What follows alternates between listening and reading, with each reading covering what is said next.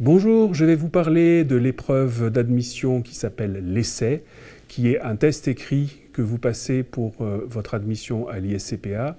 Vous avez une heure et demie pour réfléchir sur un sujet et proposer une analyse écrite sur un éditeur de texte. Ça se fait à distance. Pourquoi est-ce qu'on a une épreuve écrite? Eh bien parce que dans les métiers que vous allez préparer, en journalisme évidemment, mais aussi en communication et en production, vous le voyez sur les images qui défilent derrière moi, on a besoin d'avoir la restitution de ces idées dans des formats clairs, structurés et sans faute.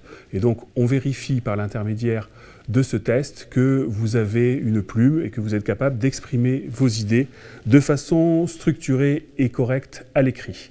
En fonction de votre filière de spécialisation, un sujet va donc apparaître pour vous. Vous avez 1h30 pour le traiter et le correcteur sera sensible à quatre critères. 1. Est-ce que vous analysez bien le sujet? 2. Est-ce que vous donnez des exemples? Est-ce que vous le documentez?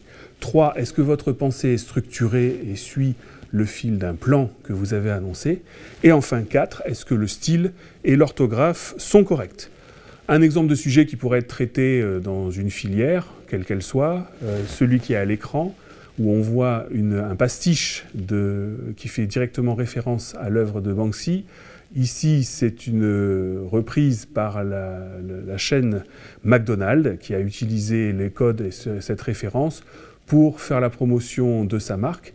Et même avec le logo à l'envers, on reconnaît bien euh, à la fois l'œuvre de Banksy, mais aussi les frites jaunes qui sortent hachées du cadre. Donc, est-ce que cela vous inspire? Vous avez une heure et demie pour produire une réflexion à l'écrit et ainsi pouvoir démontrer vos qualités d'analyse.